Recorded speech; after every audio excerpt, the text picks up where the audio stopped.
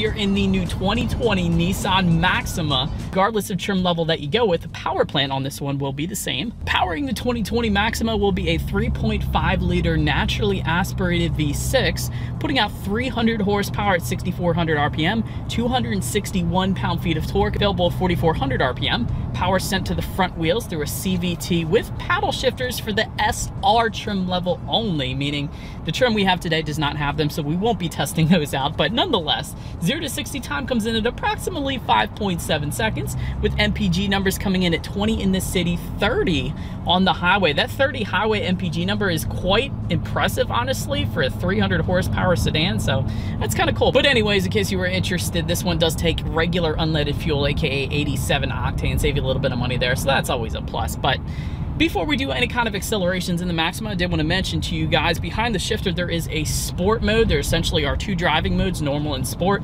Sport, once you press that, it is immediately going to downshift for you, holding RPMs at a much higher level. It's also going to adjust the throttle response and the steering sensitivity as well, and I can definitely tell a noticeable weightier steering feel to this one when you do put it in that sport driving mode, so that is definitely a plus. But I think you guys know what time it is now. Let's go ahead and do a quick little acceleration test here in our Maxima. Let's find a straightaway and let's see how quickly we can get this one here up to speed. All right, you guys, and here we go. Wow.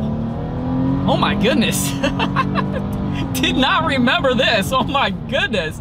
Oh my god, I, I haven't hit the acceleration in the Maxima in quite a while, and honestly, I was kind of bracing myself for a good bit of spinach with all that power being sent to the front wheels, but it actually connected fairly well to the road, very well actually. So quite a very impressive acceleration. You can feel it in the pit of your stomach and you gotta love that. So I almost wondered at first if this car needed all-wheel drive and it would be kind of cool if it had an optional all-wheel drive system, especially since I'm in Pennsylvania, but still, even with the front-wheel drive configuration that comes with the Maxima, it definitely does very well. But so anyways, to go along with that acceleration, as always, braking is equally important. And so up front, you will find 12.6 inch ventilated front discs. In the back, 12.1 inch ventilated rear discs. As far as the braking feel goes, it's been absolutely perfect for me so far today. There's no brake pedal delay on the Maxima, so that's definitely a good thing.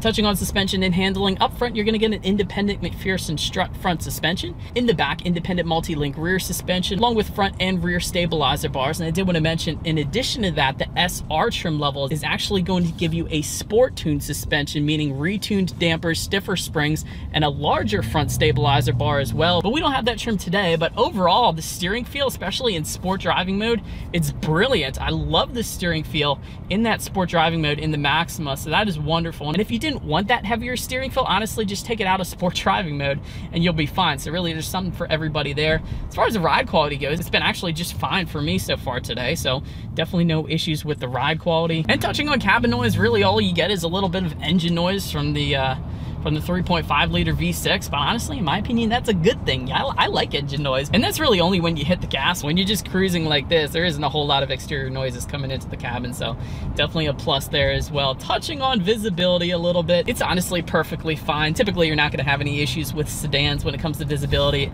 anyway, so I can see perfectly fine out the back. I did want to also mention, along the lines of visibility, there are rain sensing windshield wipers that actually come standard on every trim level of the Maxima, meaning when the Maxima starts to detect rainfall, it's going to automatically turn on those windshield wipers. So one less thing you have to worry about so you can better enjoy the drive. And it is an enjoyable drive here in the Maxima. So that is definitely a plus as well. But that about rounds up the performance segment of this review. Let's now go ahead and take a look at the exterior of this beautiful 2020 Nissan Maxima. All right, you guys, here she is, the 2020 Nissan Maxima. Definitely a good looking car in my opinion, but let's go ahead and start up front here. LED headlights coming standard across the board for all trim levels. And they do, of course, come with that automatic feature, meaning when it starts to get dark out at night, they will turn on automatically for you there. One less thing you have to worry about.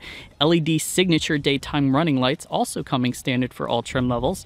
And of course you will get LED fog lights if you were to go with the SR trim level and up. Therefore, we do not have those today. So they are going to be kind of cool looking too. But let's go ahead and make our way to the side on this one. Chrome beltline molding coming standard, chrome door handles also coming standard, gloss black A-pillars. That is uh, something that definitely distinguishes the Maxima from some of its other competitors out there. Also gloss black floating roofline in the back, so ties together quite well in my opinion. And since Nissan was going with that gloss black theme, I should also mention power adjustable gloss black side mirrors will come standard across the board.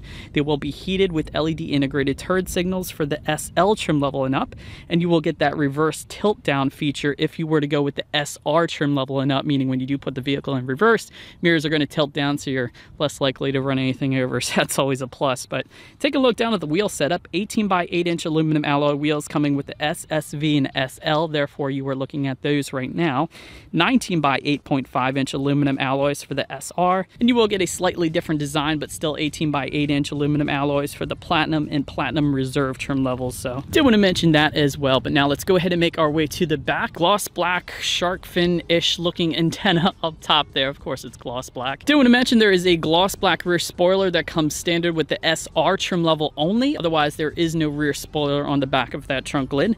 LED taillights coming standard across the board. Very cool looking design. I'm going to zoom up here kind of close for you. I just like all the detail work in those taillights. It looks so good back there. But anyways, just below it all, dual exhaust outlets with chrome tips. So do you think you guys know what we have to do next. As always, here is that exhaust clip.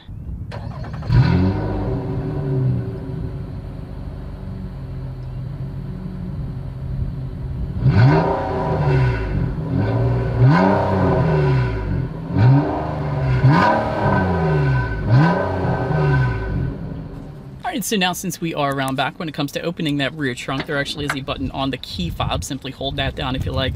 Also a button by the driver's side left knee, and there's a button on the trunk itself as well. So any of those three ways you can go about opening this one up. Once opened up, cargo capacity is going to come in at 14.3 cubic feet.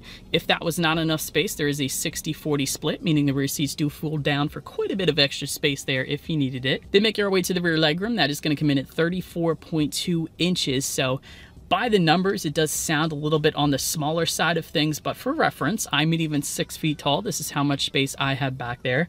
Also for those rear passengers, I wanted to mention there is rear ventilation that comes standard for every single trim level. Also rear center armrests with cup holders, once again coming standard for all trim levels. And if you went with the Platinum Reserve trim level, actually, you can get heated rear seats back there as well. So that is definitely quite nice. Make our way to the front seats. Cloth seating comes with the S trim level, leather seating with the SV trim level and up. And if you wanted that diamond quilted leather seating that you quite often see in Maximas, go with the SR trim level and up. That's how you're going to get that. Eight-way power adjustable driver seat with the S, and that comes with power lumbar if you go with the SV trim level and up. Four-way power adjustable passenger seat for all trim levels, memory settings for the SR and up, heated front seats for the SV trim level and up, that's always a big one, and heated and ventilated front seats if you were to go with the SR trim level and up. So taking a look now at the steering wheel, it is tilt and telescoping. It is leather wrapped for all trims and heated for the SL trim level and up. And also I did want to mention with the steering wheel, you will get Alcantara inserts if you were to go with SR trim level only, a little sportier type of feel to it there. Now let's go ahead and make our way to the startup. Let me first start by showing you guys the key. All of the buttons are actually located all on one side of the key. You have your Nissan logo at the very top lock, unlock button to pop the rear hatch. That little circular button at the top just below the Nissan logo, that is your remote start, which is actually going to come standard across the board. Every single trim level is going to get you that remote start, which means you get to warm up the Maxima on a cold day, so less likely to freeze to death when you first get inside, so that's always a plus. But also standard across the board though, push button start located just in front of the shifter there, so all I'm going to do here, simply put my foot on the brake and press that engine start button there. It's open and once started up, tachometer is all the way to the left, speedometer is to the right. There is a fairly decent sized digital display front and center there. To control what is on that digital display, simply use the steering wheel mounted controls on the left side of the steering wheel there. It's going to give you a ton of different information, like of course trip A, trip B obviously, but average miles per gallon. It's going to give you your speed limit of any given road. There's a digital speedometer located up there as well. It's probably what I would leave it on. It's of course when you need your next oil change. There's a bunch of stuff honestly you can check out up there. And make our way to overall interior quality. A dual panel panoramic moonroof coming with the SL trim level and up, meaning both the front passengers and the rear passengers get their own individual moonroofs. That is pretty cool, and that's what you're looking at right now, of course. dual zone climate control coming standard for all trim levels across the board, HomeLink controls, meaning your garage door openers for up to three different garage doors found on the rear view mirror here. And that, by the way, is going to come with the SL trim level and up. Therefore, we do have those today. That's always a plus because the alternative is the rattling garage door opener you put on your sun visor, which of course rattles at high speeds on the highway. So it's nice having HomeLink controls. Ambient LED lighting also with the SL trim level and up. There's a bunch of satin chrome interior trim throughout this one. Maple wood interior trim with the platinum trim level and up. You will find a charcoal headliner with the SR, and that also gives you aluminum foot pedals with that SR trim level too.